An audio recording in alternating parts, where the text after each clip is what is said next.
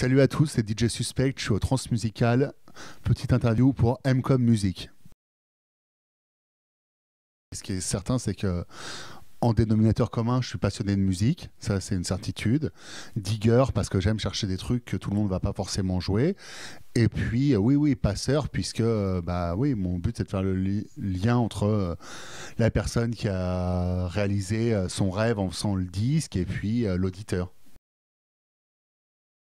C'est énormément au feeling. Hein. Je prépare jamais rien. C'est-à-dire que là, même si tu me demandes quel va être mon premier scud, alors qu'il y a quand même beaucoup de monde ce soir. Je ne sais absolument pas.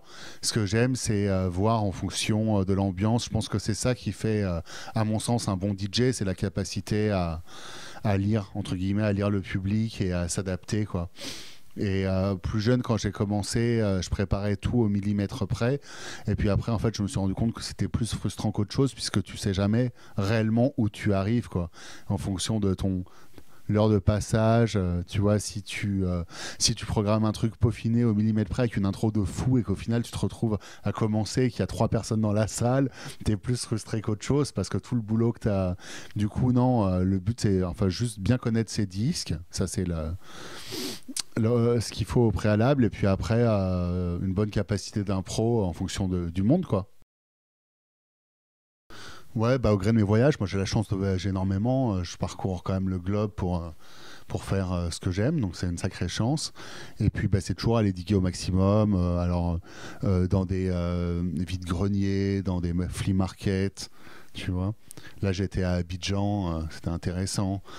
Euh, je reviens du Canada, il y a plein de trucs là-bas. C'est aussi avec des gens euh, que tu connais sur place, prendre des lots. Enfin, c'est, il a pas, enfin, juste c'est être curieux et puis aimer la musique et puis être aussi un peu courageux parce que c'est facile de faire deux clics sur Internet mais c'est pas le digging. Euh, enfin, il y a différentes façons de diguer, mais euh, quand même, il y, a un moment où ouais, bah ouais, il faut s'accroupir, il faut euh, se lever tôt le matin ou pas dormir.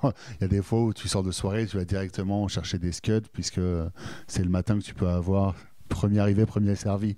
Donc voilà. Mais c'est un, c'est un boulot de tous les instants et c'est une histoire sans fin. Et ce qui est cool avec la musique, c'est que tu passes ton, ta vie à apprendre en fait. Quoi. Du coup, du coup, ça c'est chouette, ça rend humble d'une certaine manière, puisque même après, moi ça fait 20 ans que je suis DJ, tu passes ton temps à... Et puis aussi être à l'affût des nouveautés, puisque tu as toujours des trucs intéressants qui sortent. Je pense que c'est juste un truc d'affect. Je pense que voilà, le vinyle, il y a une histoire qui va avec. Je peux te sortir n'importe quel disque de ma collection. Je me rappellerai de quand je l'ai chopé, dans quel contexte. C'est un truc qui est presque euh, romantique, hein, tu vois, mais c'est une approche différente. Je pense que personne se rappelle euh, du premier son qu'il a téléchargé. Euh, alors que son premier scud, euh, généralement, tu t'en rappelles, quoi. Donc il y a toute une histoire. Et puis moi, je m'intéresse au. C'est ce qui a aussi forgé ma culture, si tu veux. Je euh, en allant diguer, tu, tu fais attention au crédit. Tiens, qui a produit tel track. Tiens, ce label. Tiens, cette année-là. Tiens, euh, ah bah le bassiste sur ce morceau, c'était un tel. Je vais voir ce qu'il fait. Il a fait un album solo. Voilà, c'est tout un process qui moi m'intéresse et qui. alors j'ai fait un nombre d'erreurs incalculables en allant diguer. J'ai un nombre de merde, mais ça a fait aussi partie du, euh, process.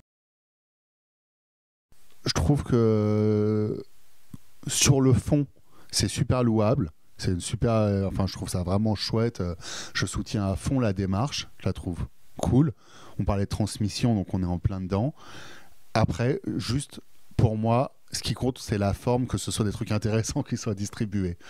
Parce que le projet est intéressant, mais pour moi, tout dépend de ce qu'on en fait. Pour moi, s'il est qualitatif, c'est génial c'est rendre accessible des trucs. Euh, enfin, c'est parfait. C'est comme des euh, festivals qui vont faire des programmations un peu couillues au lieu de prendre le truc que tu vas écouter 15 fois l'été, puisque. Euh, voilà, mais tant que la qualité est là, c'est super. Alors dès le début de l'année, là, j'ai euh, euh, une grosse, grosse, grosse boom prix qui arrive avec un beatmaker émérite qui s'appelle Propo 88 et euh, qui fait partie d'un collectif qui s'appelle The Shoguns. C'est du hip-hop 90s énorme, bien, enfin pour moi c'est dans le top 5 beatmakers. Et là on sort un gros morceau de hip-hop sur le label Soul Dynamite en janvier. J'ai aussi pas mal d'édits qui vont sortir à droite à gauche. aussi je suis parti d'un crew qui s'appelle Dusty Donuts en plus de 45 Life et j'ai un morceau sur Dusty Donuts qui arrive pour le début 2020. Je finis un track avec Ian Seven et aux vocals Eric Boss, qui faisait partie du duo Myron and I. Ils ont sorti un album sur Stone Throw. Donc ça aussi un autre 45 tours qui arrive. Et, puis la grosse sortie pour moi, bon ça c'est que des sorties archi qualitatives, donc je suis très fier.